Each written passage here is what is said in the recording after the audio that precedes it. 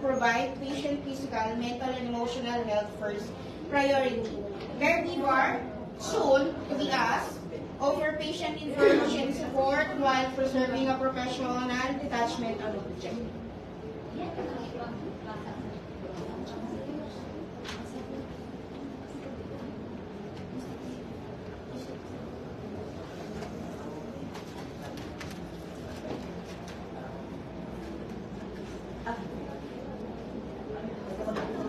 Hi, good morning. I'm your night nurse, Alex. What is your name and what are you doing today? Laksan yung laksan. Sit down. Again. So, good morning. I'm your nurse, Ellen. What is your name and what are you doing today? Uh, anything else? You might be pregnant. Um, so, so how are you feeling this past few weeks?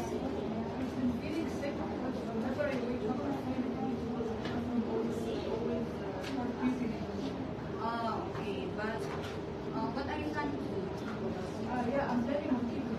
This is uh, but for a minor.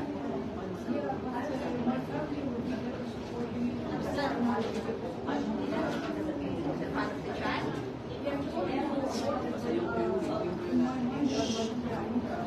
Uh,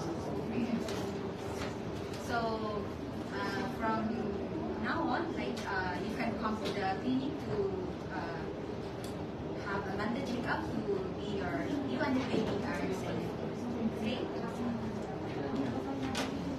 Uh, giving a patient a broad opening such as what's on your mind or what would you like to talk about is a good way to encourage client to discuss what's on their mind.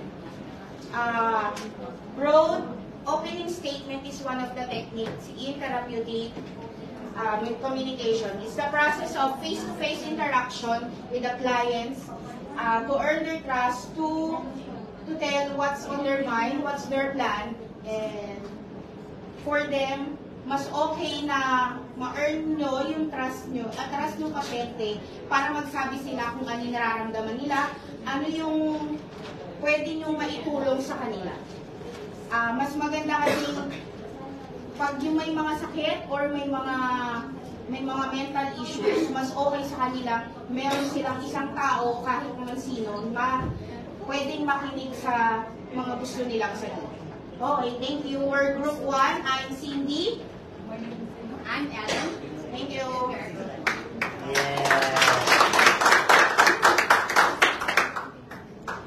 Okay, so group 2, ah, group 3. Group 3 to group 3.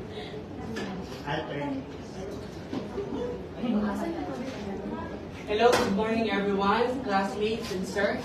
So we are the group number three for the therapeutical uh, communications uh, using exploring techniques. So what is exploring? It's examine certain ideas and experience of the patient. So before we start, I just want to uh, introduce you uh, my member who will act as a caregiver number one is Miss Julie. Caregiver number two is Miss Bethlehem. And Mrs. Jones as the patient for next time. So let's watch and uh, see the scenario of the three.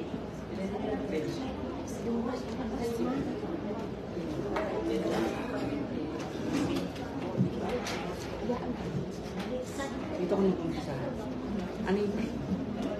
Ready? Ready? Sige, sige, sige. Oh,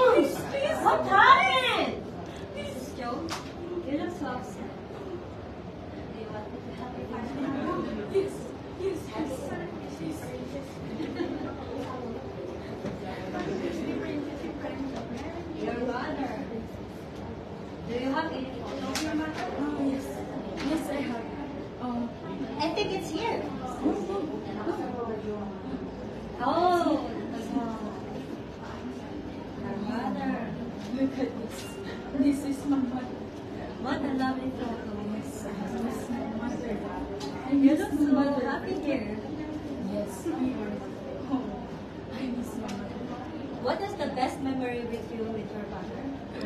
I remember my mother taught me how to play the piano and she taught me how to sing. Pretty. Can you play a song for me? Oh, I guess I cannot do it anymore. I bet you still sing praise. I guess there's a microphone here in the recreation room. But I don't know where's the recreation room. Do you know where it is? Um, this way? That's right. So classmates, uh, as you can see in this scenario, uh, we showed you that we have uh, the two caregivers. The first caregiver possessed the negative approach, which is not advisable to possess. Because uh, this uh, uh, gestures and attitude is not um, uh, contributing to the good welfare of the patient. But as you can see in the caregiver number two, she approached uh, Mrs. Jones in a nice way. So this is the best uh, caregiver must possess. So in this example, we will see how quickly the patient or Mrs. Jones uh, distress uh, escalate so fast. And uh, because of this, uh, she has the dementia that often, oftenly cannot say uh, when she will escalate her emotions. So, as far as a caregiver is concerned, um, we must follow some steps. Number one, we must share concern. So, what is this concern? We have to feel, uh, let the patient feel that we are there for them in every minute of the way. Number two, we have to do uh, such uh, like a detective uh, observations dealing on how we will see the problem of Mrs. Jones. Number three, stay positive. As what uh, what way uh, extend some message to the patients that we are here, caregiver, helping hand with the patient. So we will see the caregiver number two using the positive physical approach by using hand and hand gestures. So this way, uh, she she letting uh, asking the trust of the patient to the caregiver number two, and uh, leading to the familiar activity that she is longing for. These skills also allow the patient and caregiver have a connections without any confrontations. Notice that the caregiver number two engage patient using positive verbal connections. As White, uh, it requisite and uh, Miss uh, Jones to a less distressed topic. And able to, yan, he- she start to reminiscing ha- happy memories of uh, how caregiver number two uh, approached Mrs. Jones. So Mrs. Jones is starting to reminiscing the, the good uh, memories of her family on how uh, her mom teach her how to sing and other activities that is not truly affected by her dementia. So all of these turns that could be arguments for gratifying outcome. So uh, classmates, sir, uh, this is the group number three for exploring techniques and good afternoon. Okay, so next group.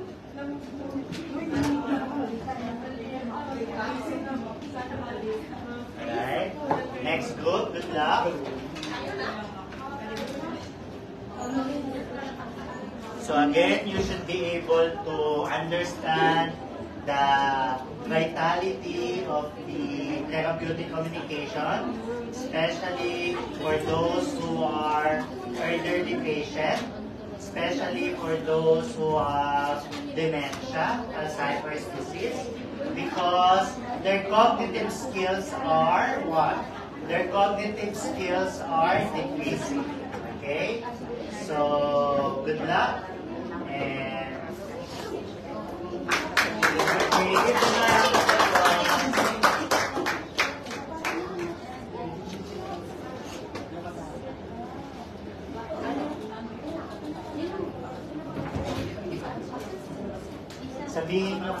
Papasok yung wheelchair para alam ni ma'am.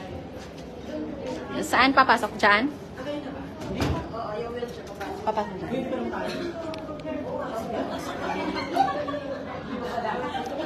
Ikaw mamaya ako. Ikaw mamaya Good morning, everyone. Good morning, morning. We are the group. We discuss about therapeutic communication uh, with offering generally. Regarding the patient to continue at that caregiver is interested in what comes next. Like example, tell me about your uh, coping mechanism. Uh, I would like to introduce first our groupmates, uh, caregiver number one, Jackie, and caregiver number two, Florence, and I'm the narrator, Teresa, and our patient, non-Lisa. Lisa.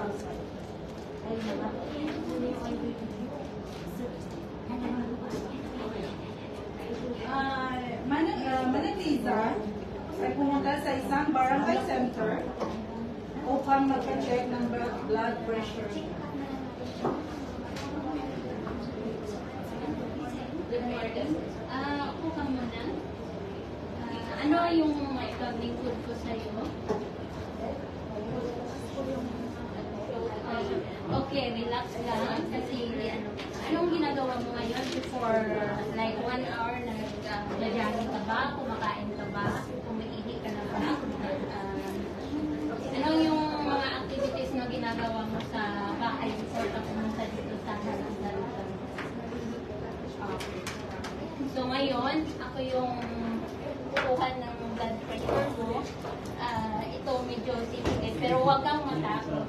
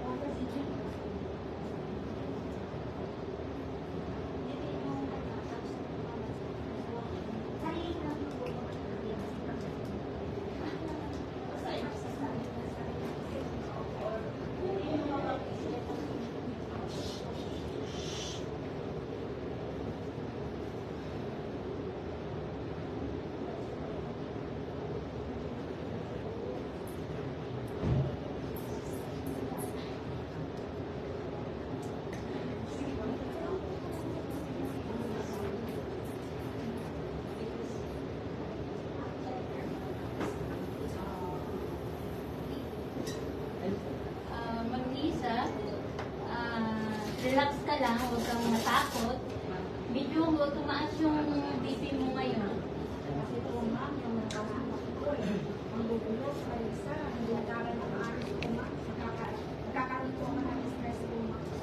Ah, sige, huwag kang mag-alala, tutulungan ka namin.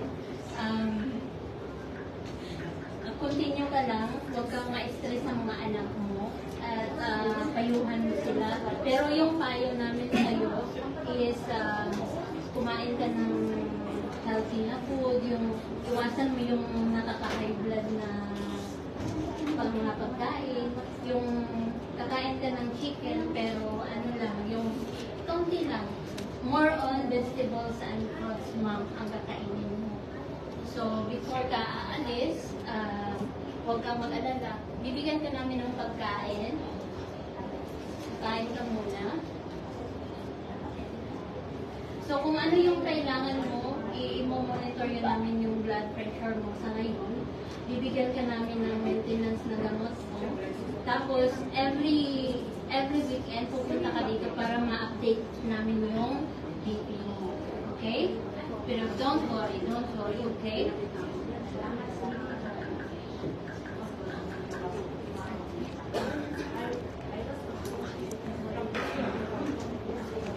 Habang kumakain si Manang Lisa, may isang caregiver na nag-assist siya.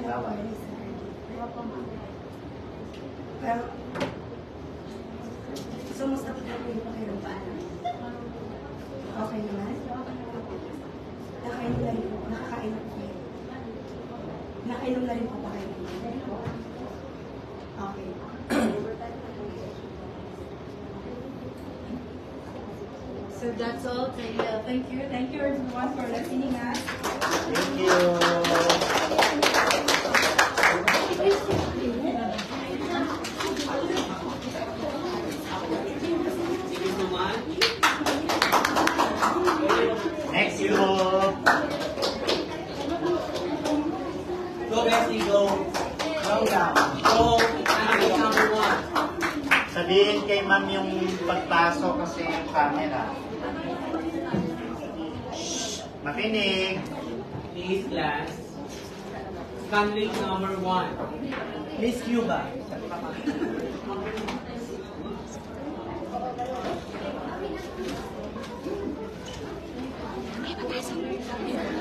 Here's, here's my mother. Where's your mother? Mother. She's dead.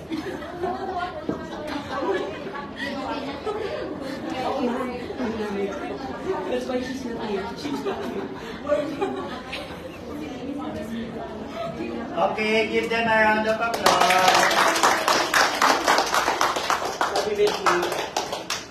Laksan ng boses ha. Laksan. Thank you very much.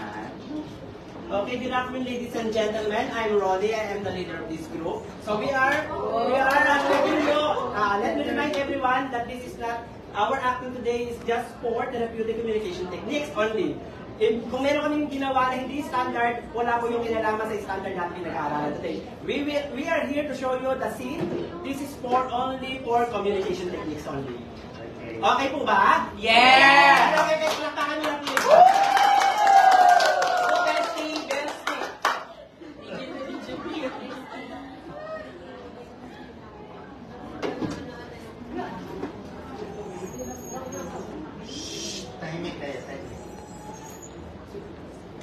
Caring a patient or family members with dementia is both uh, this is both challenging and rewarding. Bakit? Kasi yung mga pasyente po natin talaga, hindi po talaga siya magpupusang kumilos para sa ating, para mapaglingkuran natin sila. Kaya narito tayong mga caregiver para bigyan ng assistance ang ating pasyente. Muli, muli po, ang aming pong ginagawa ngayon ay for communication only, hindi po talaga po kinalaman sa standard procedure ng pag-aalaga sa ating pasyente.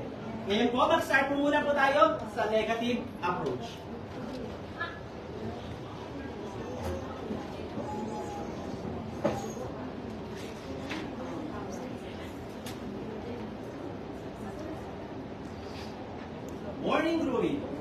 Negative approach. Hello, Eden. Oh, you are not uh, changing your clothes yet. Okay. Let me brush your hair first, okay? Ouch! Ouch! Stop! What? I just brush your hair. Stop! It hurt. Stop. This is our first for our negative approach. We will proceed now to our positive approach.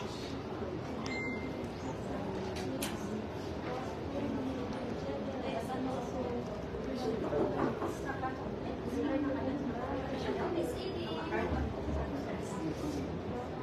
How is your day?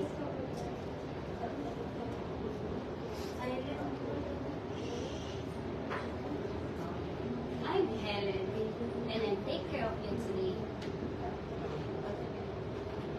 Would you like to fix your hair?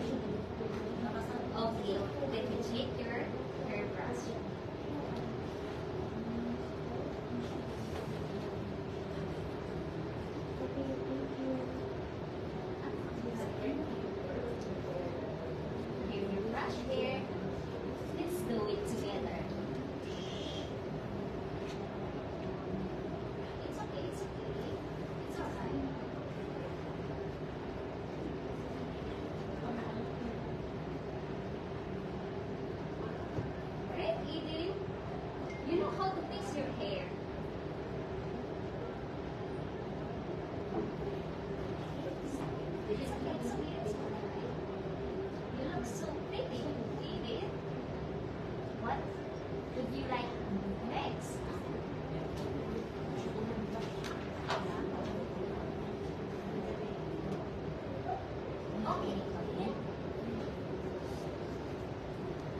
Napaka-importante ng umaga sa ating mga pasyente. Bakit ka mo? Dito kasi nagsisimula ang ating, ang ating araw ay nagsisimula sa morning, kaya dapat ang mga pasyente natin, umaga pa lang, bonggang-bongga at fresh na fresh ang ating mga pasyente. Bakit? Paano pa nagagawin? Dapat magkaroon tayo ng communication skill na pul- polite siya. Yung isa, si si Mary, polite naman ang kanyang pag-approach.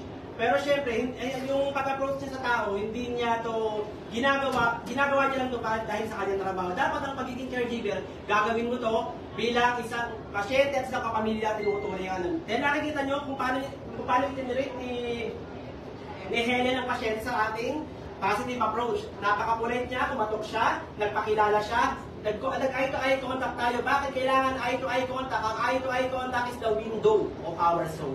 Kaya dapat dyan, lagi tayo nakikipag-communicate, hindi lang sa isip, pati din sa ating mga puso.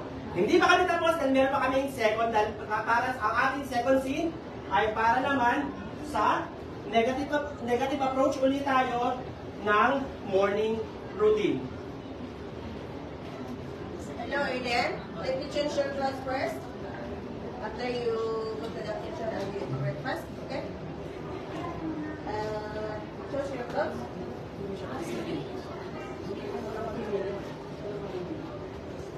So, can I remove your... No. your No. No. wait, No. You need to change your clothes. No. No.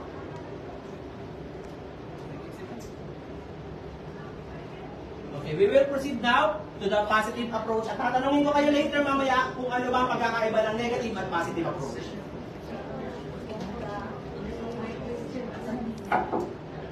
Hello, Aiden. Good morning. I'm Helen, and I'm here today to take care of you. I guess we're going to change your clothes so you look prettier. Let me check what you have clothes, uh, Aiden. Okay, choose what do you want, Aiden. One or this one? Okay, wow! Happy, sounds like smiling. You're happy because I'm here thinking of you, take care of you.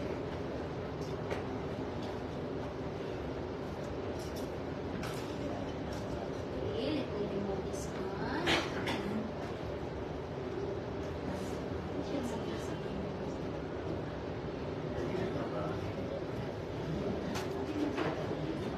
Thank, thank you, Aiden, for helping me.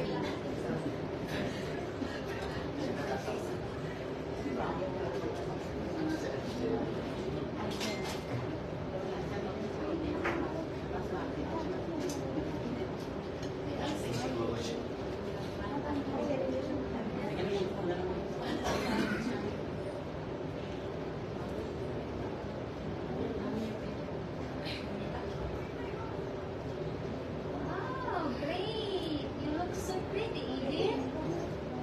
You choose nice. Did you like? May I help you before starting your breakfast? Okay, nakita naman natin yung pagkakaiba. Sino ba ang mas mabuting caregiver? Si Helen or si Mary? Helen! Eh, Helen! Because si Helen talaga, hindi niya ginawa yung trabaho niya dahil sa pera o respeto kahit ano ba man. Ginawa niya ito na may puso at may pag-aalaga sa ating pasyente. So hindi pa yan tapos siyempre nakapag, nakapag uh, sakay ng ating pasyente, nakapag-room na siya. Siyempre, dadalhin na natin siya kung saan siya kakain ng breakfast. Ito naman yung matututunan kung ano ba ang proper communication na ginagamit sa isang pasyente na hindi na talaga, hindi na siya active, kailangan niya ng tulong. Pero dahil sa dahil sa tulong na ito, nagre-react din naman ang ating pasyente dahil nakikita niya na ang caregiver natin ah inaalagaan ng maayos ang ating pasyente. Panoorin po natin ang ating last scene na gaganapin para sa breakfast naman ng ating pasyente. Okay, we will start with negative approach. Negative.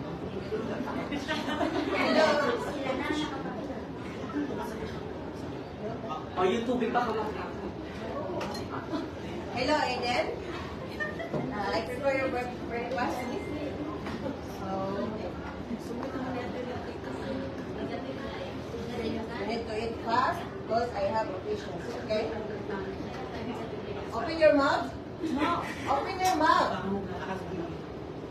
You need to eat breakfast. Open your mouth. No, no, I don't. May ganun pa yan.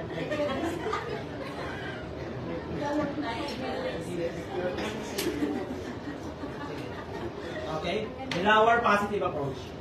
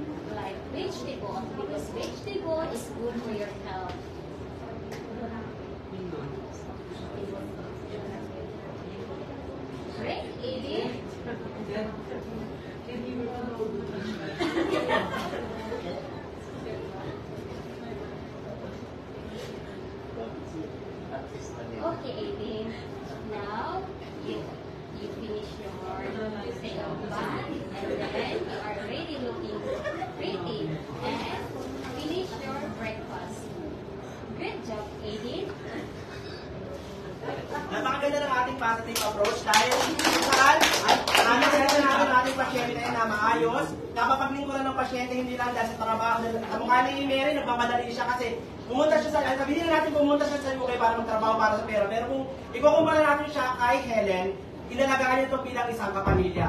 Ito po ang aming ginawa. Nag-present na siya sa inyong umaga. I hope na may matutulong kayo. This is Ronnie. Ronnie. Ah, thank you very much. At uh, lagi po natin tatandaan, life is too short. Make your life to the fullest. Thank you. Thank you. And then every music is a blessing. every, every is a blessing. Grabe yung props namin. Next tayo, next. Galing ko na.